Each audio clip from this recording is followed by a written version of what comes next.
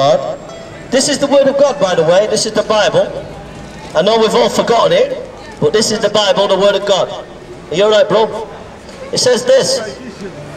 It says, anybody wants to jump in, ask a question.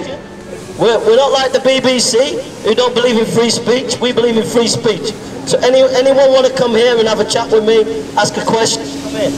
You're welcome to do so, yeah? I believe in equal opportunity. I believe that people should have the right to question and think. And so you can come in and question and chat and have a discussion with me anytime. There's a few people around here that might do that. It says, there is none understandeth, there is none that seeketh after God that has gone out of the way. They are together become unprofitable. There is none that doeth good, no not one. Their throat is an open sepulchre. Now tell me, people say, people say the Bible's not relevant. Let's see if the Bible's relevant today. Let's see, yeah? Let's see. Let's see. Folks, I'm getting old. I've got to wear glasses. So it says here, their throat is an open sepulchre, their tongue they have used deceit, the poison of us is under their lips. I tell you what, this sounds like Coronation Street and EastEnders, doesn't it? Eh? Listen to this. This is this is this sounds better than Coronation Street and EastEnders. Listen to this. His mouth is full of cursing and bitterness. That sounds like Manchester on a Saturday night, doesn't it? Eh? Destruction and misery are in their ways. That sounds like the British government going over to Iraq causing wars. And the way of peace they have not known. There's no fear of God before their eyes. You know, little kids used to be taught years ago to have fear of God. So when you grew up, you had respect to your elders. That's all gone now. It's all broken down. A lady was telling me that in Uganda, everybody went to church and everybody be belonged in a community. Everybody knew each other. But that's broken down now. We don't have that. We've lost our sense of community. We've lost our sense of identity. Yeah? We've lost that. But why? Why have we lost our sense of identity? It's because of the heart, the human heart. Our hearts are broken from God. Oh, thanks, sir. Thanks, sir. Our hearts are, are broken. Now, let me ask you this. Who's perfect here? Anybody perfect? The Bible says, thou shalt not lie. Has anybody lied here? Anybody lied? Yeah? The Bible says, thou shalt not steal. Has anybody stolen here? Have you stolen, bro? We've all stolen, yeah? The Bible says, thou shalt not commit adultery. Anybody look to the woman or the man with lust? Anybody? He's honest. He's honest. I like you, bro. I tell you what, this is better than Jeremy Kyle show, isn't it? We've gone through stealing, we've gone through all these things, yeah? Now here's the point. What's going to happen to you when you meet God on Judgment Day? Hellfire. Hellfire. Hellfire, yeah. This guy knows his stuff. Now, here's the question. Jesus went to the cross To save us. and died so that you wouldn't have hellfire Oh. because any stealing that you've done, he died as a thief, but he never stole anything. Every time you swear, he died for your swears, but he never swore once. Yeah? Every time you look to the woman and a man for sex, he died on that cross for those things, but he never did anything. So, how do you get to heaven, folks? How do you get to heaven? Anybody know how you get to heaven?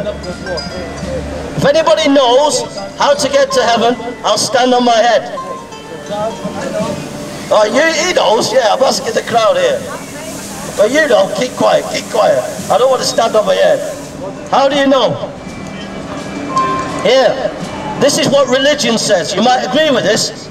It says, religion says, do your best. Go to church, go to mosque. Be nice, wear a nice suit. Help the poor. This sounds good, doesn't it? And you do all these things, and you know what? Religion says you'll get to heaven. But that's not the way to heaven, folks.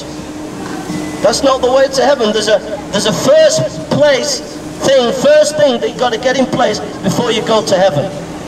What's that? It's believing on the sacrifice of Jesus Christ. Believe in your God is right. Jesus, you, you're Muslim, yeah? Okay. You're asking me a question, but let me just finish. Jesus Christ died on the cross. God, God. For, we'll get that. We'll do that. We'll do that in a minute. Jesus Christ died on the cross for your sin. Now, if you believe that, you'll be saved. You know why? Because he was perfect. You're not perfect. But he's so weak. Yeah. He's so weak. But by the foolishness of weak, by the, God uses the weak things of the world to confound the mighty. God uses the weak. Come on, girls, have a chat. God uses the weak things of the world to confound the mighty. People want to control by mighty armies. People want to come in with tanks and guns and control in mighty ways. God didn't do that. He came down and he came riding on a donkey. And he came into Jerusalem and they grabbed him and then they put a crown of thorns on his head and put him on the cross. But we want tanks and guns. But God says, no, I save you by the cross, Jesus. So he will save us, but he can't save himself. Himself he can't save. Now let me tell you this. Jesus said this. Jesus said this. Very important. He said this when he was on the cross. Very good. He said, My God, my God, why have you forsaken me? Do you remember that? Do you know? Let me finish. Let me finish. Do you know why he said that? Because in Psalm 22, 1,000 years before Jesus, it talks about a man surrounded whose hands and, and feet are being nailed. And it says, a thousand years before Jesus, the man says, My God, my God, why have you forsaken me? So when Jesus is on the cross saying, My God, my God, why have you forsaken me? He is pronouncing a prophecy that came true in him.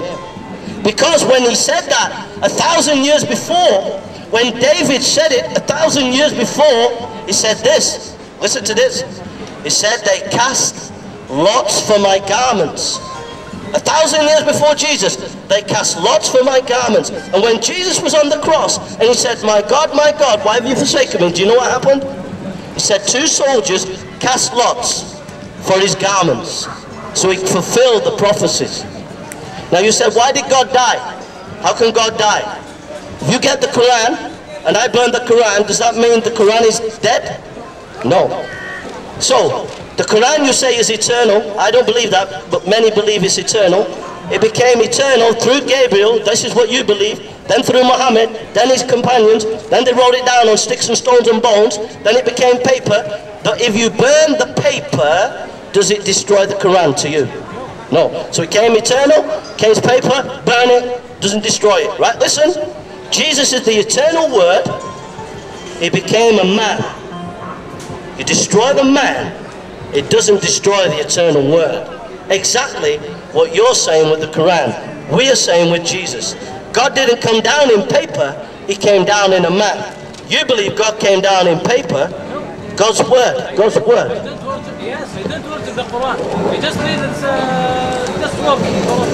Just say Quran. That's, uh, I don't worship the Quran, you know, it's just a book. I know, I know, but is the Quran eternal? You, you worship Jesus as a fully God, as a fully man. So he died. Is, is, is the Quran, That's why he put on is the Quran eternal? Yeah? Okay, if it's eternal, That's the book. listen, if the Quran's eternal, you got two gods. You got Allah and you got the Quran. Because there's only one person who has ever existed forever. That is God. You mean eternal, that's uh, forever? Forever. No, the Quran is not eternal.